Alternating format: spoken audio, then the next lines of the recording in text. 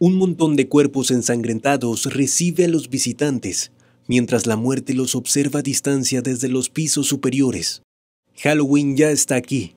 Las plazas Punto Valle y Avanta en San Pedro han provocado sorpresa, miedo y sonrisas con una decoración más que notoria. Zombies, muertos, calaveras y entes negros son parte de la decoración con motivo del Día de Muertos. Esta decoración publicitaria ha generado todo tipo de opiniones, pero las personas no dejan pasar la oportunidad y se toman la foto. Muertos colgando de fachadas altas, de las farolas y otros más en jardineras son parte de los sustos que clientes de estas plazas encuentran al llegar. Algunos señalan que esta decoración es perturbadora para los menores, sin embargo otros aseguran que es divertida.